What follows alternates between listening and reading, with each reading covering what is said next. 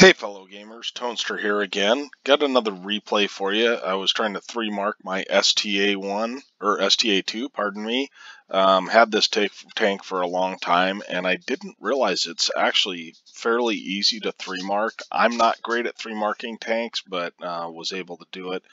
Now, one thing you'll notice down here in the lower left corner is that I I do have a um, kind of um, a, this this here is inaccurate because I've already three marked it, which is kind of funny. But at the time uh, that I was three marking it, I got up to like 94.9 and then back down a ways and then back up to 94.9 and I believe I was at like 94.8 at this point when I went to three market. So this is, I'll save you the suspense. It is the three mark game, um, but uh, anyway, so I make some plays uh, that I might normally not make.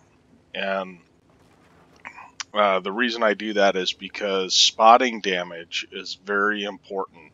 Um, it's as important as actual damage when you're playing uh, uh on to three mark a tank. So um, normally I wouldn't get this aggressive. We are top tier, of course. Everyone's top tier because it's a tier 8 game, I believe. Um, but uh, anyway, uh, yeah, it's all tier 8s. So I, am going up to this uh, little knoll here, and you can get early spots on guys that come around the corner this way. So we do fire some gold here, um, but uh, we're just trying to three mark, so that's why. So we're loading the gold now, and we've got a couple of guys spotted, and one of which is the defender. So we're going to go ahead and we're waiting to see if we can get a shot, but then we go ahead and take the shot because I don't want anyone to push up any further.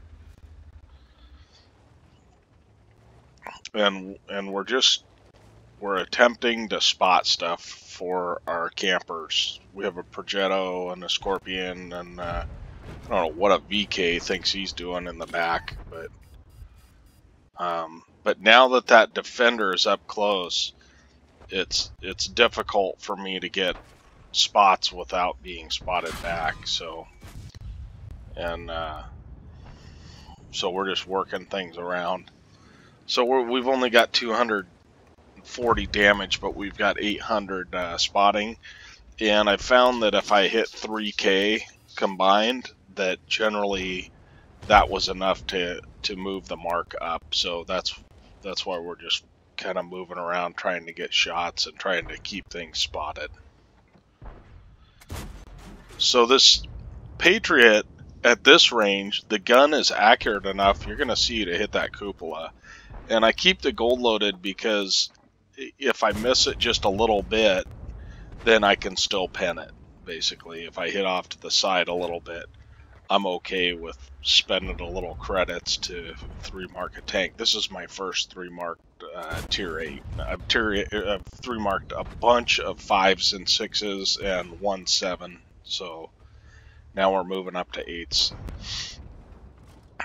So of course we do end up uh, getting some more spotting. We're up to about 2k, but but we're not high enough that we can you know just abandon the game. I, I need to get to that magic 3k at least.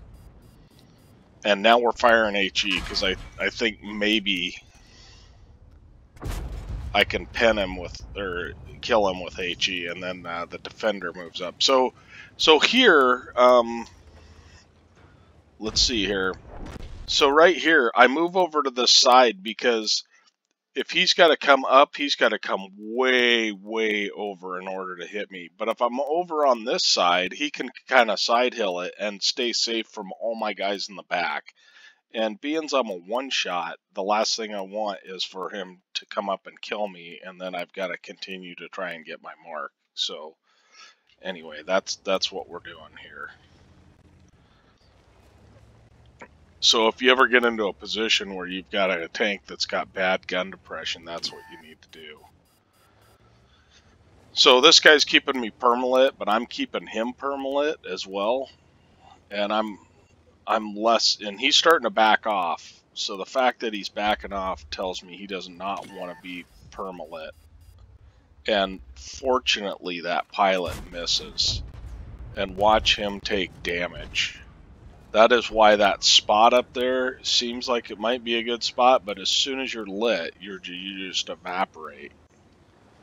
So finally our heavy's coming up. I don't understand why he was camping in the back, but he was. You know, whatever. I'm just trying to get my mark anyway. And this, uh,